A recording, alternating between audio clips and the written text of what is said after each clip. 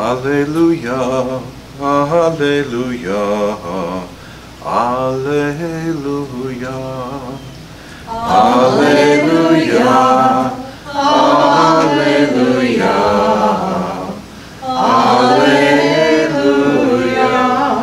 Come to me, all you who are labor and are burdened, and I will give you rest, says the Lord. Alleluia.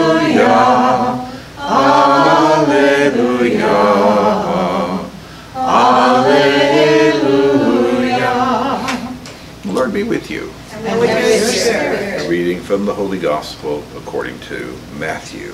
Glory to you, O Lord. As Jesus passed by, he saw a man named Matthew sitting at the customs post.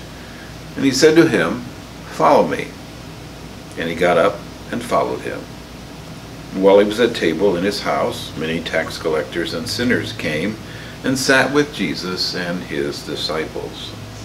The Pharisees saw this and said to his disciples, Why does your teacher eat with tax collectors and sinners? He heard this and said, Those who are well do not need a physician, but the sick do. Go and learn the meaning of the words, I desire mercy, not sacrifice. I did not come to call the righteous, but sinners. The Gospel of the Lord. Praise to you, Lord Jesus Christ.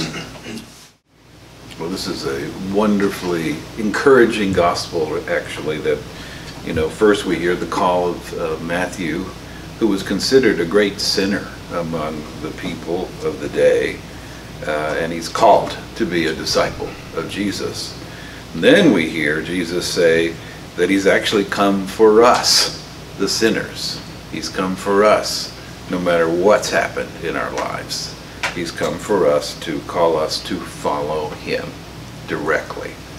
And so let's pray for that grace to truly uh, follow him and uh, let our sins, if you will, fall away as we follow him.